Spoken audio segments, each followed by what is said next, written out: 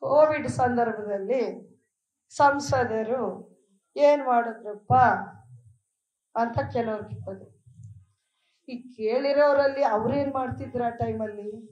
ಒಂದಿಬ್ಬರು Covid care ಸೆಂಟರ್ಸ್ಗೆ ಹೋಗಿ dance ಮಾಡ್ಕೊಂಡ್ರು. ಎಂಟರ್ಟೈನ್ಮೆಂಟ್ ಅಂತೆ ಕೋವಿಡ್ ಕೇರ್ಗೆ. ಅದು ಅವರ ಸಾಧನೆ, ಪಾಪ ಸಾಧನೆ ಮಾಡಿ. ನನಗೇನು ಬೇಜಾರಿಲ್ಲ.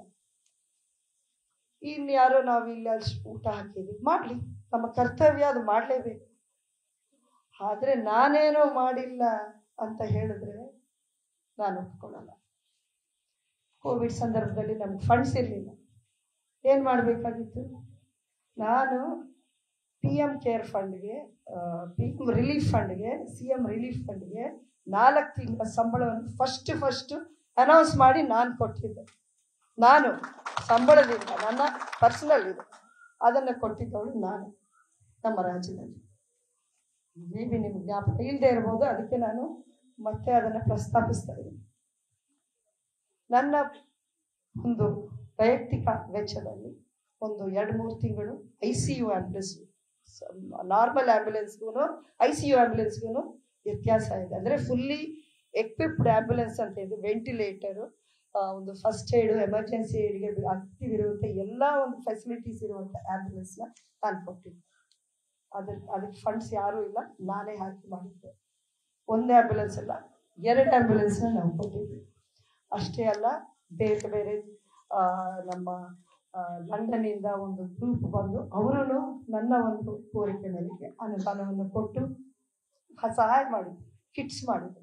ಅಮೆರಿಕಾದಿಂದ ನಿಮ್ಗೆ ಗೊತ್ತಿದೆಯೋ ಇಲ್ವೋ, ಡಾಕ್ಟರ್ ವಿವೇಕ್ ಮೂರ್ತಿ ಅಂತ ಅವರು ತುಂಬ ಒಂದು ಉನ್ನತ ಸ್ಥಾನದಲ್ಲಿದ್ದರು ಕೋವಿಡ್ ಮ್ಯಾನೇಜ್ಮೆಂಟ್. ಅಂತ ತಂದೆ ಅವರನ್ನ ನಾವು ರಿಕ್ವೆಸ್ಟ್ ಮಾಡ್ಕೊಂಡಿದ್ದಕ್ಕೆ ನಮ್ಮ ಮಂಡ್ಯ ಕ್ಷೇತ್ರ, ಅಂದರೆ ಪ್ರತಿಯೊಂದು ತಾಲೂಕು, ಎಂಟು ತಾಲೂಕು ನಾನು ಹೇಳ್ತಾ ಇದ್ದೀನಿ, ಕೆ ಆರ್ ನಗರ ಸೇರಿ ಪ್ರತಿ ಒಂದು ಕಡೆ ಅವರು ಕಿಟ್ಗಳನ್ನ ಕೊಟ್ಟಿದ್ರು ನನಗೆ. ಯಾರ ಪ್ರಯತ್ನ ಇದು? ಸುಮ್ಮನೆ ಕೈ ಕಟ್ಕೊಂಡು ಕೂತಿದ್ರೆ ಆಗೋದಲ್ಲ, ಭಾಷಣ ಮಾಡ್ಕೊಂಡು. ಬರೀ ದೂಷಣ, ಭಾಷಣ ಬಿಟ್ಟರೆ ಕೆಲಸ ಮಾಡೋ ಒಂದು ಕರ್ತವ್ಯನೂ ನಮಗಿದೆ ಇದು ಸ್ವಲ್ಪ ಅವ್ರು ನೆನಪಿಸ್ಕೋಬೇಕು. ಮರ್ತು ಬಿಟ್ಟಿದ್ದಾರೆ ನಮ್ಮಲ್ಲಿ ಜನಪ್ರತಿನಿಧಿಗಳು ಅಂತ ಓಡಾಡ್ಕೊಂಡಿದ್ದಾರಲ್ಲ ಜನರ ಆಶೀರ್ವಾದ ಪಡೆದು. ಇದೆಲ್ಲ ನಮ್ಮ ಕೆಲಸ ಇಲ್ಲ.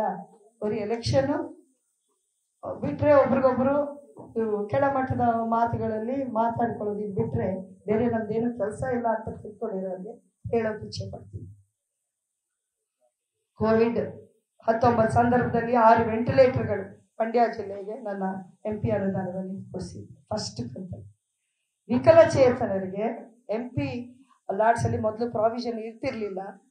ನನ್ನ ಈ ಅವಧಿಯಲ್ಲಿ ವಿಕಲಚೇತನರಿಗೂ ಎಂ ಪಿ ಲಾಡ್ಸಿಂದ ಕೊಡಬಹುದು ಅನ್ನುವಂಥ ಆದೇಶ ಬಂದ ಮೇಲೆ ಈವರೆಗೂ ನಾಲ್ಕು ವರ್ಷದಲ್ಲಿ ಅರುವತ್ತು ವಿಕಲಚೇತನರಿಗೆ ನಾವು ಎಲೆಕ್ಟ್ರಿಕ್ ವೆಹಿಕಲ್ಸ್ನ ಎಂ ಪಿ ಅನುದಾನದಲ್ಲಿ ಫಸ್ಟ್ ಫಸ್ಟ್ ಕೊಟ್ಟಿರೋದು ಅಂದರೆ ಬರೀ ಕರ್ನಾಟಕ ರಾಜ್ಯದಲ್ಲೆಲ್ಲ, ಇಡೀ ದೇಶದಲ್ಲಿ ಎಂ ಪಿ ಲಾಡ್ಸನ್ನು ವಿಕಲಚೇತನರಿಗೆ ಬಳಸುವಂಥ ವಿಷಯ ಹೆಚ್ಚಾಗಿ ಆಗಿಲ್ಲ.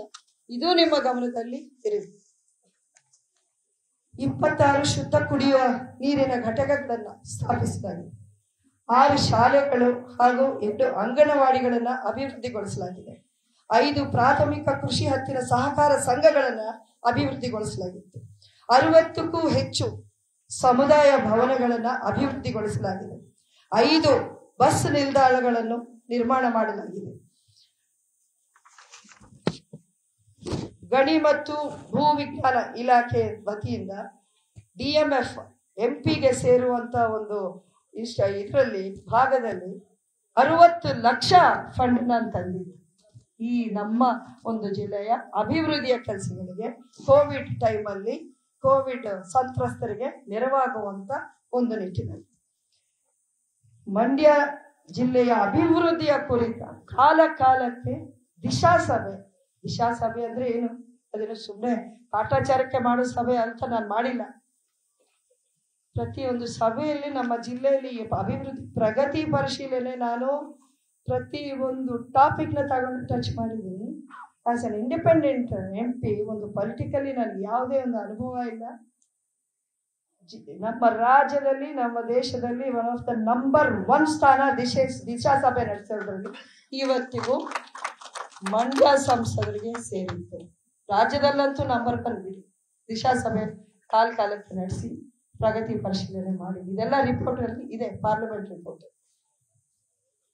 ಎಂ ಪಿ ಅನುದಾನವನ್ನ ಬಳಸೋ ಒಂದು ನಿಟ್ಟಿನಲ್ಲಿ ಟಾಪಲ್ಲೇ ಇದೆ ಮಂಡ್ಯ.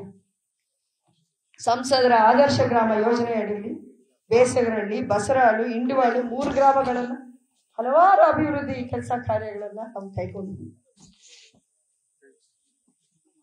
ಎರಡು ಸಾವಿರದ ಈ ಹಾಲಹಳ್ಳಿ ಸ್ಲಮ್ ವಿಷಯ ನಿಮಗೆ ಗೊತ್ತೇ ಇದೆ. ಎಷ್ಟು ವರ್ಷಗಳಿಂದ ನಡೀತಾ ಇದೆಪ್ಪ? ಅಂಬರೀಷ್ ಅವರು ಹೌಸಿಂಗ್ ಬೋರ್ಡ್ ಮಿನಿಸ್ಟರ್ ಆಗಿದ್ದಂಥ ಟೈಮಲ್ಲಿ ಅದನ್ನು ಅವರು ಸ್ಟಾರ್ಟ್ ಮಾಡಿದ್ರು. ಆ ಒಂದು ಇಲ್ಲಿ ಬಡವರಿಗೆ ಒಂದು ಮನೆ ಆಗಬೇಕು, ಬಡವರು ಇಲ್ಲಿ ಒದ್ದಾಡ್ತಿದ್ದಾರೆ, ಪರದಾಡ್ತಿದ್ದಾರೆ ಅವರು ಒಂದು ಸೂರು ಕೊಡೋ ಒಂದು ಪುಣ್ಯ ಕಾರ್ಯವನ್ನು ನಾನು ಮಾಡಬೇಕು ಅಂತ ಅಂಬರೀಷ್ ಅವರು ಸ್ಟಾರ್ಟ್ ಮಾಡಿರುವಂಥ ಒಂದು ಯೋಜನೆ. ಅದು ಅಲ್ಲಿಗೆ ಸ್ಥಗಿತ ಆಗಿತ್ತು ಅದು. ಇದು ಎಂ ಪಿ ವ್ಯಾಪ್ತಿಗೆ ಬರುವಂಥ ಕೆಲಸನ, ಯಾತ್ರ ವ್ಯಾಪ್ತಿಗೆ ಬರುವಂಥ ಕೆಲಸನೋ ಅನ್ನೋದು ನಿಮ್ಮಲ್ಲಿ ತಿಳುವಳಿಕೆ ಇರೋರು ವಿದ್ಯಾವಂತರು, ಮಾಧ್ಯಮದವರಿಗೆ ಖಂಡಿತ ಗೊತ್ತಿದೆ. ಒಬ್ಬ ಶಾಸಕರು ಸ್ಥಳೀಯ ಜನಪ್ರತಿನಿಧಿಗಳು ಯಾರು ಇರ್ತಾರೆ, ಅವರು ತಗೊಂಡು ಮಾಡಬೇಕಾಗಿರುವಂಥ ಕೆಲಸ. ಆದರೂ ನಾನು ಅದನ್ನು ನೋಡಿಲ್ಲ. ಯಾರು ಕ್ರೆಡಿಟ್ ಮಾತಾಗೋತಾರೋ ಯಾರಿಗೆ ಇದು ಸೇರುತ್ತೋ ಅದು ನನಗೆ ಲೆಕ್ಕ ಇಲ್ಲ. ಇದು ನನ್ನ ಕರ್ತವ್ಯ. ಅಂಬರೀಷ್ ಅವರ ಸ್ಟಾರ್ಟ್ ಮಾಡಿದ್ರು, ಅದನ್ನ ನಾನು ಪೂರ್ಣಗೊಳಿಸಲೇಬೇಕು. ಆ ಬಡವರನ್ನ ಆ ಮನೆಗೆ ಕೊಡಿಸ್ಬೇಕು. ಅವ್ರಿಗೆ ಆ ಹಕ್ಕು ಪತ್ರವನ್ನು ಅವ್ರ ಕೈ ಕೊಟ್ಟರೆ ಅದೇ ನನಗೆ ಆಶೀರ್ವಾದ ಅಂತ ಅಂದ್ಕೊಂಡು ಆ ನಿಟ್ಟಿನಲ್ಲಿ ನಾನು ಪ್ರತಿ ಒಂದು ಸಲ ಹೌಸಿಂಗ್ ಮಿನಿಸ್ಟರ್ ಬಂದಾಗ ಮೀಟಿಂಗ್ಸ್ ಕರೆಸಿದ್ದೆ ಅಫೀಷಿಯಲ್ಸ್ನ ಕರೆಸಿದ್ದೆ. ಅಲ್ಲೇನು ಸಣ್ಣ ಪುಟ್ಟ ಗೊಂದಲಗಳಿತ್ತು. ಅದನ್ನೆಲ್ಲವೂ ಕೂತ್ಕೊಂಡು ನಾನೇ ಖುದ್ದಾಗಿ ಸಮಾಧಾನ ಪಡಿಸಿ ಆ ಒಂದು ವಿಷಯ ಇವತ್ತು ಆರ್ನೂರ ಮೂವತ್ತೆರಡು ಮನೆಗಳು ಅವ್ರ ಕೈಗೆ ಸಿಕ್ಕಿದೆ ಏಳು ವರ್ಷ ಏಳು ವರ್ಷ ಆದ ನಂತರ ಈ ಏಳು ವರ್ಷದಲ್ಲಿ ಯಾರಿದ್ರಪ್ಪ ನಾನೇ ಅಂತೀನ? ಯಾರಿದ್ರು?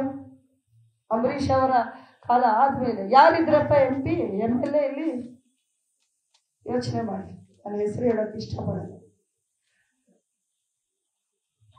ನರೇಗಾ ಯೋಜನೆಯ ಅನುಷ್ಠಾನದಲ್ಲಿ ಮೊನ್ನೆ ಒಂದು ಎರಡು ತಿಂಗಳ ಹಿಂದೆವರೆಗೂ ಮಂಡ್ಯ ಜಿಲ್ಲೆ ಮೂವತ್ತನೇ ಸ್ಥಾನದಲ್ಲಿತ್ತು ಅನ್ನೋದು ಪ್ರತಿ ಒಂದು ಕಡೆಯೂ ಮಾಧ್ಯಮಗಳಲ್ಲಿ ಅದು ಹರಡಿತ್ತು ಈ ಒಂದು ಸುದ್ದಿ.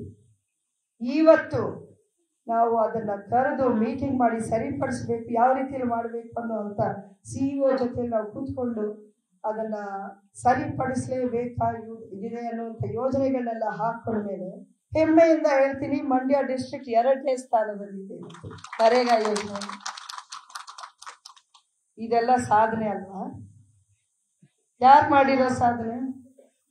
ಯಾರಾದರೂ ಕಣ್ಣಕ್ಕೆ ಕಾಣದೇ ಹಿಂದ್ಗಡೆಯಿಂದ ಬಂದು ಮಾಡ್ಕೊಂಡು ಹೋಗ್ತಿದ್ದಾರೆ ಏನೋ ಗೊತ್ತಿಲ್ಲ. ನನಗೆ ಗೊತ್ತು ಗೊತ್ತಿರೋ ಮಟ್ಟಿಗೆ ನಾನು ಮಾಡ್ಕೊಂಡು ಬರ್ತಾ ಇದ್ದೀನಿ. ಈಗ, ಇದೆಲ್ಲ ಬಿಡಿ. ಸಂಸದೆಯಾಗಿ ಇದನ್ನ ಹೊರತುಪಡಿಸಿ ನನ್ನ ಒಂದು ಕರ್ತವ್ಯ ಏನೇನು ಬರುತ್ತೆ? ಪಾರ್ಲಿಮೆಂಟ್ ಅಧಿವೇಶನದಲ್ಲಿ ನಮ್ಮ ರಾಜ್ಯ, ನಮ್ಮ ಜಿಲ್ಲೆ, ನಮ್ಮ ಭಾಷೆ, ನಮ್ಮ ಸಮಸ್ಯೆಗಳು, ನಮ್ಮ ರೈತರ ಸಮಸ್ಯೆಗಳು, ನಮ್ಮ ಮಹಿಳೆಯರ ಸಮಸ್ಯೆಗಳು, ನಮ್ಮ ಮಕ್ಕಳ ಸಮಸ್ಯೆಗಳು, ನಮ್ಮ ಅಂಗನವಾಡಿ ಆಶಾ ಕಾರ್ಯಕರ್ತರ ಸಮಸ್ಯೆಗಳು, ಇದನ್ನೆಲ್ಲ ಪ್ರಸ್ತಾಪಿಸಿ ಮಾತಾಡಿದ್ದು ಯಾರು? ನಿಮ್ಮ ಜಿಲ್ಲೆಗೆ ಹೆಮ್ಮೆ ಅಲ್ವಾ ಅದು? ಹೌದಾ ಅಲ್ವಾ ಇದು? ಯಾರು ಮಾತಾಡಿದ್ರು ಇದ್ರ ಬಗ್ಗೆ?